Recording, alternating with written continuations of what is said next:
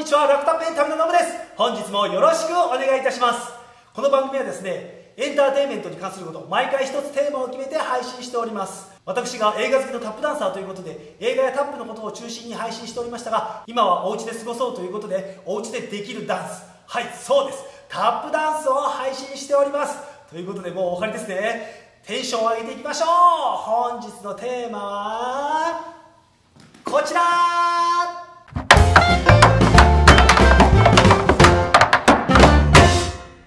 はい皆さん元気にタップダンスやってますでしょうか？え本日も皆さんにお会いできたことを感謝して全力で配信していきたいと思います。本日もお家でタップチャレンジ!イエーイ！はいということでですねいろいろ大変だと思いますけどもぜひねこの動画見て少しでも楽しんでいただければなと思います。タップの面白さタップやりたいなと思ってくれれば一番嬉しいかなと思いますので貴重なお時間いただきますけども最後までご視聴よろしくお願いいたします。はい、この動画の流れを、えお伝えしておきます、えまず本日やるステップ。でその次にですねそのステップのどうやってるかっていう解説。でその後に、まあ、このステップやる上でのね、えうまくいくコツもしくは気をつけることっていうことでワンポイントコツ、えこれラクタップ専門用語です。こんな日本語ありませんからね。ということを紹介しまして最後に曲に合わせて一緒にやっていきたいかなと思います。それでは今日やるステップいきます。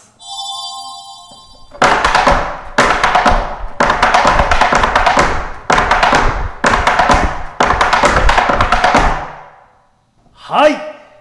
ということでプルバックを入れたフォーサウンドとうとう来ました。ちょっと前にやったこれですねこのプルバック。多分すごく分かりにくくて非常に申し訳なかったかなと思っておりますけどもこれを使ってどんどん今からステップを発展させていきたいと思います。で今日の難しいところはさらに前回は両足でやったので非常にプルバックっていうのもやりやすかったと思うんですけども今回片足になっちゃいます。でさらにもう一つ言うとこの前ねつま先から上げてやったと思うんですけども今日はスタンプの状態からやります。ただスタンプの状態の時、ね、前回も言いましたけどもスタンプの状態の時どうしてもね飛ぶ前に足を上げて引くっていうパターンがあるんですけどもこれは使えません。これ使ってると間に合わないので同じです。つま先ついて飛ぶのとかかとついて飛ぶのは全く理屈一緒です。足首力抜いておいてしっかり膝曲げて上にジャンプ。この理屈は一切変わりません。一回ちゃんと飛んで引いておくっていうこの理屈は変わりませんのでスタンプの時でもそれをしっかり意識していきましょう。でね片足は本当に両足の時よりもっと慣れにくいと思いますけどもぜひね、えーと、諦めずにならなかったらですねこれでもいいです。ここからスタートしてもらってもいいのでなんか足を動かして。っていうふうにだんだん必ずやってればなってきますのでぜひね気長にチャレンジしてもらえればなと思います。それではステップの解説いきたいと思います。今日は私左足踏み込み。こちらバージョンしかちょっとやりませんので反対足はぜひともねやっておいてほしいかなと思います。でね一応ね一概に言えないですけど多分ね左足踏み込みの方がみんな最初はなると思います。なぜかっていうとみんな片足で踏み込む時って多分左足で踏み込んだ方がみんなやりやすくないですかね。右利きの人って多分こう踏み込んだ方が多分飛びやすいと思います。プルバックの時言いましたけども踏み込む力がすごく重要になってきますので踏み込んでしまえばあとはうまく飛ぶだけですから頑張って左足からやってみてください。でねもしあなダメだと思ったらもう全然足変えて大丈夫です。もちろんね両方ならないといけないのでこの後半のステップは両方鳴らしますからね。両方鳴らしますから両方鳴らさないといけないと思いますけどもとりあえずねなんか鳴った喜びをぜひ分かってほしくて左足踏み込みからいきたいと思います。ではほぼほぼ解説したも同然なんですけどもやること左足踏み込みます。そしてシャッフル。これはいつも通りですね。これはいつも通りです。いつも通り。で、これはシャッフルのエクササイズの時話しましたけども、この動画ですね。後ろの方がいいと思います。わかりますここ。やりましたね。横、後ろ。はい。この位置で最初やった方がいいかなと思います。なぜかっていうと、プルバック、前に踏み込んで、後ろに引きますので、極端に言うと、これ結構最初リスク高いかなと思いますのでしっかり踏み込んで後ろシャッフル。でこのシャッフルした足にこの軸足を引き寄せる感じ。わかります？わかります？わかります？こうではなくてわかりますか？この状態からまあ言いましたよね。しっかり体重前にかけてもちろんねあのこれこれできたらもうもうほぼほぼ問題ないんですけどもこれ一応ドーンドーンドーンっていうアクセントが欲しいので最初スタンプいかしてください。でシャッフル。このシャッフルのところにこの軸足を持ってくるイメージです。踏み込んで飛ぶっていうのは前と一緒です。でもう一つね。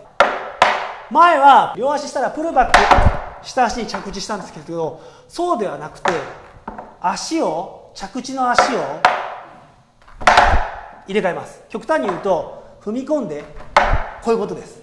ちょっと今シャッフル音鳴らしませんけどもラララララです。はい。これがラララララ。ではなくてではなくてラララララ。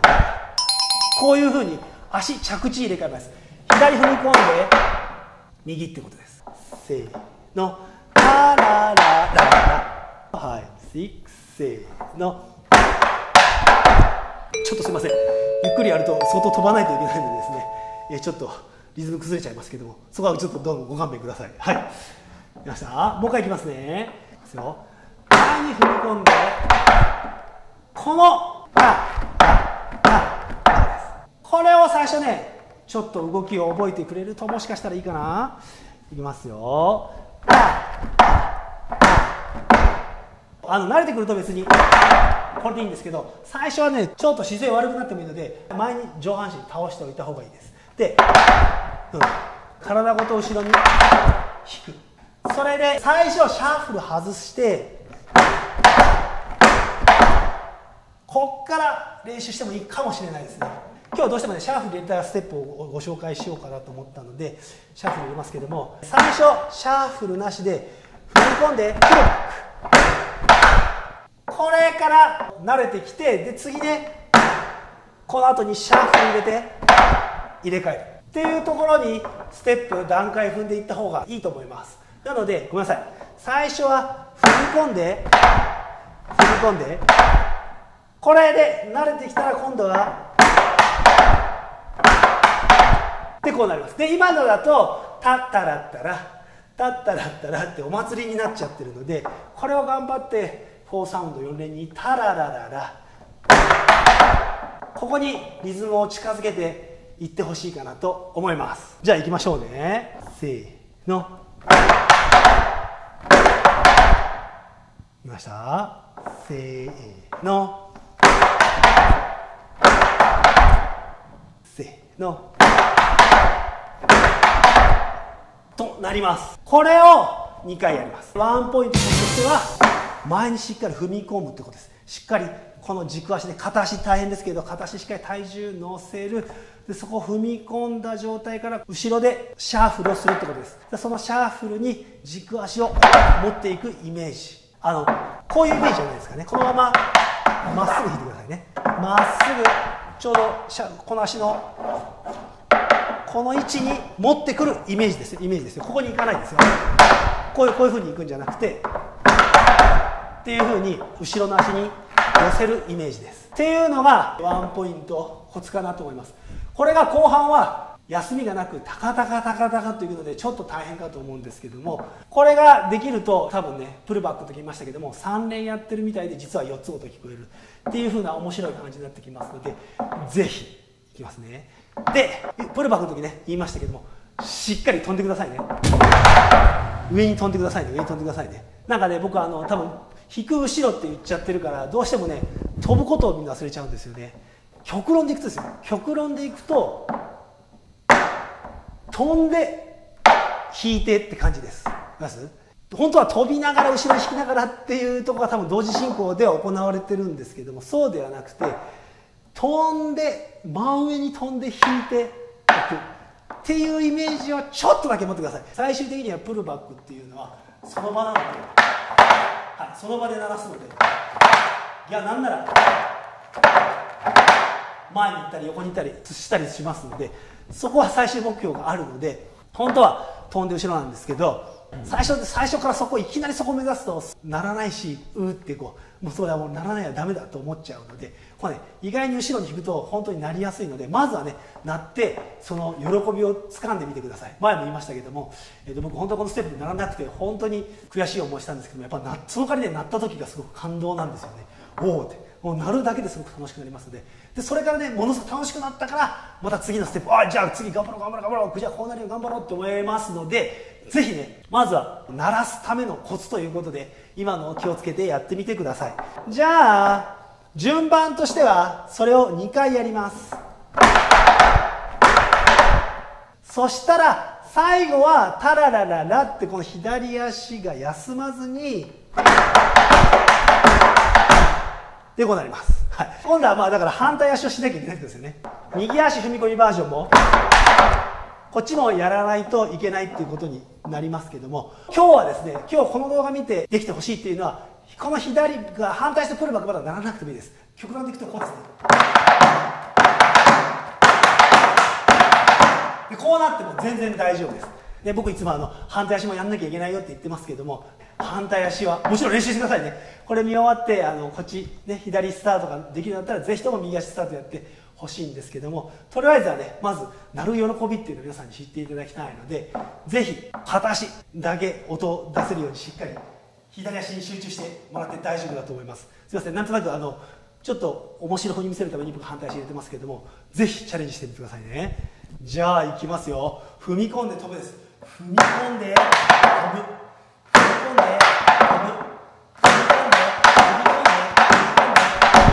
すいませんこれ今ゆっくりやってるからカッタカッタラになってますからねごめんなさいねじゃあちょっといきましょうかねはい6せーの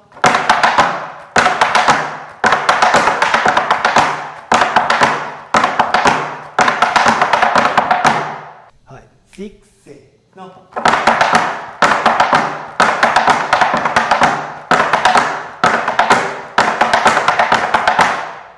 はい。6せーの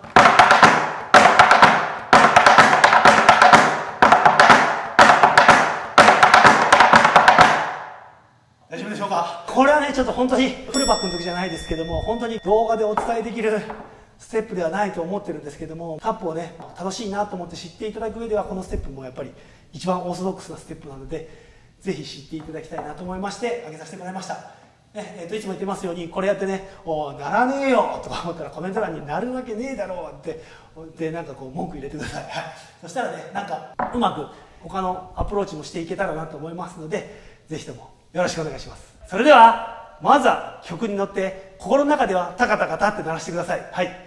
足は鳴らなくても大丈夫です。心の中でタカタカタタカタカタってなればまずはいいかなと思ってます。それでは曲でいきましょう。はい。じゃあちょっと早いですけども曲でいってみましょう。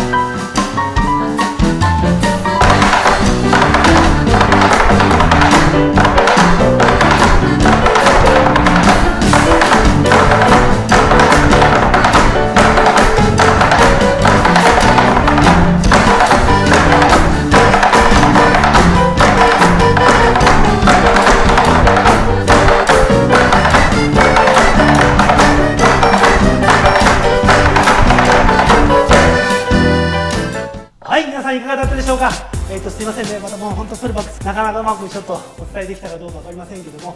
とにかくまずはしっかり踏み込むところです。これはもうプルバックと同じです。スタンプだろうがステップだろうがしっかり踏み込むっていうところは何も変わりませんのでしっかり踏み込んで飛ぶってことです。踏み込んで飛ぶです。でその飛ぶ角度、まあ、45度が大体うまくいくかなと思いますけども人それぞれによって違いますのでそこはね前回のプルバックで説明したようにちょっといろいろ自分でね調整してみてください。とにかく頑張って踏んで後ろでシャッフルね。こうするとやっぱね動きが大きく見えるんですよここの横でよりもね。後ろが大きく見えちゃいますんで。でその分足を大きく引けちゃいますのでここから入った方がいいかなと思います。是非ねチャレンジしてください。で時々言ってますけどももう嫌になったらわあやめたって感じで一回やめてもらって大丈夫です。でまたちょっと10分ぐらい暇だからもう一回ちょっと動画見てみようかなと思ってこの動画見ていただければ一番いいのかなと思います。それではいかがだったでしょうか？もしよかったらですね落札園のために参加ということでチャンネル登録評価ボタンの方よろしくお願いいたします。それではまた次の動画でお会いしましょう。Let's meet next movie! バイバーイ